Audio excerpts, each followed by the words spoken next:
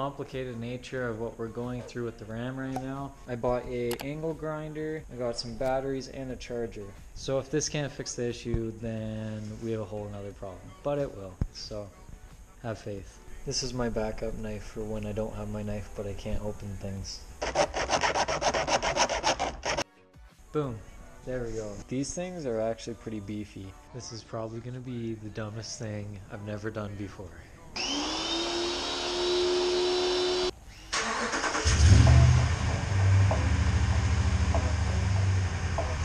You hate paying for car washes?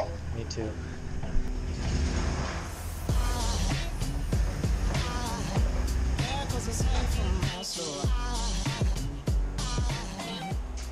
Okay, you guys ready? So I'm gonna start taking off my fender flares. We're gonna do this so that way none of these guys ever break again. Now they're gonna be a little bit shinier, which I don't know if I'm a fan of yet. They're gonna kind of resemble that, right? Where in the wheel well you might want something a bit darker, but because it's on such a bright surface already, I don't know if it's gonna make a difference in comparison because it'll probably blend in better anyway, so it's less noticeable. When I was actually applying this vinyl here, I did end up going underneath the uh, fender flare. But the thing is, when I went to go and take this off, what had happened is that all the bolts came out except for that one. So today, essentially, what we're doing is we're taking the fender flares all off, and then we're going to replace all the bolts with stainless steel hardware, so that way it doesn't rust out again and the heads come off the screws, and then we're kind of stuck. My mud flap couldn't be attached because that's for the top mounted screw. So when I put it back on without that screw, it basically stuck out and it just looked nasty and I knew I was gonna have to take it off anyway. Okay, so I'm not necessarily excited for this, but I think I'm ready. So Dodge, for their fenders, uses actual screws. The thing is, the ones that they use are steel. So now this being stainless steel, I can put this washer on, which is the exact same size as the washers actually on the stock bolts. And with that, it's going to mimic the exact same setup, the exact same thread pitch. And I did test it, even though it is slightly different, it still works on the actual U or J clips. And so this is going to work perfectly fine. Now because that that one rusted through that we're taking off with the uh, grinder, I actually had to go out and buy another set just in case we have to replace any more.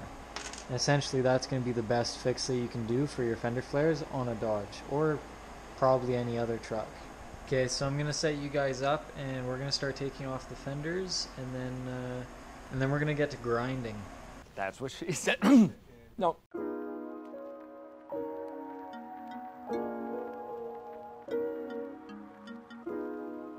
So you can see how brutal that is. I mean, I didn't snap all of them or as many as I thought, but I did snap uh, four total out of all of the wheel wells, and that's enough that I want to replace it anyway. This is why you should do this kind of stuff as soon as you get the truck. So let's see what I have to do for the first one that broke. So I'm going to try to use maybe some pliers and I'll grab on and see if I can turn it, but I really doubt that's going to work. No, it's definitely not going, so yeah, I'm definitely gonna have to pull out the grinder and I'm gonna grind that bolt off like I said and we'll see if that works.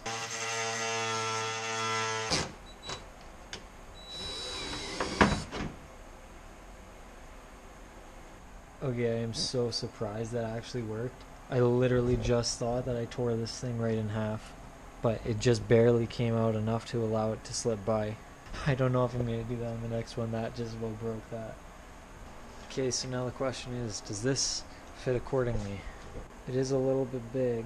I might be able to get away with just not pushing it down so far. Okay, I think that's gonna work actually. So you can see it right there. It's pretty accessible and if I need to move it I can. But I should be able to use that guy pretty good. Okay, let's go try the other side.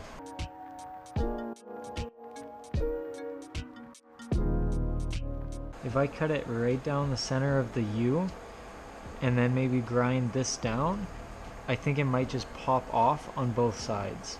And if I do that on both, I don't have to worry about potentially uh, breaking the liner when I do what I did last time.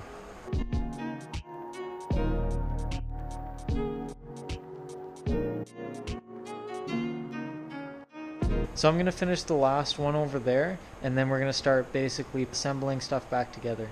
The back is completely different and way worse than the front. You have to choose between which quarter you're doing, do the front two, and then see if you maybe have enough time for this guy in the back. So inside you essentially have, you know, where all the holes go. And I kind of did a little digging. That's why I'm kind of pulling you guys back out.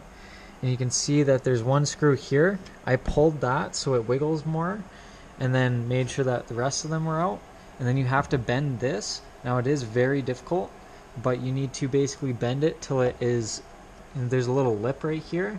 And you need to make sure that this kind of tucks around because if you leave it right here, which I found a little bit easier to get to, then it's gonna actually dent, like kind of like almost rolling your fenders except outwards. Now it's not a big deal, you know, mine is hidden by my fender flares, but it just looks a lot nicer and keeps it neater. It's better for you to just overall make sure that you at least get to that lip before you stop pulling it out. Now if you look up here, you can see that there's a secondary kind of fender well and right at the top there there's one bolt there as well there's one bolt right there these two bolts I believe should be the only ones and then you pull that out and then that's when you can grind it so this one you can do at a bench so it's easier to grind but it's harder to get out Okay, cool. So I took it out, I replaced the J-clip, and now when I put it back in, you can see I replaced the hardware with brand new stuff. Reason being is it's a lot easier for me to get these bolts than it is for me to get those ones.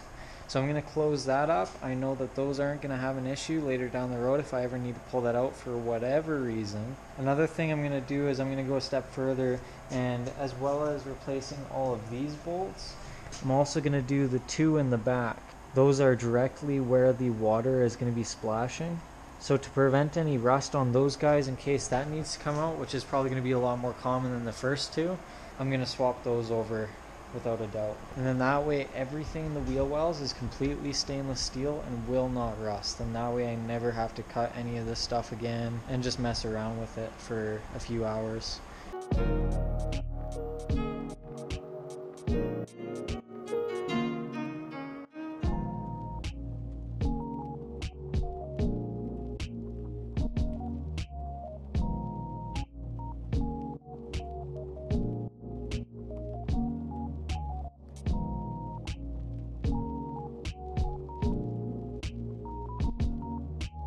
So we're finally done. Everything went pretty much spot on from what we were really expecting.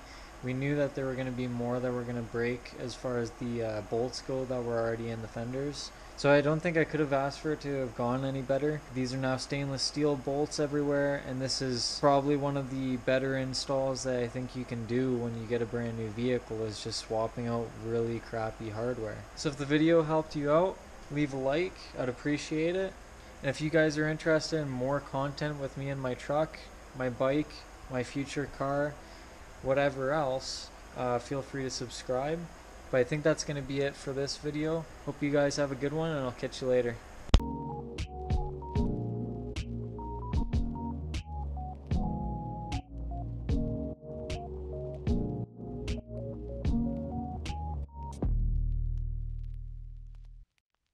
I can't find my light. Found it.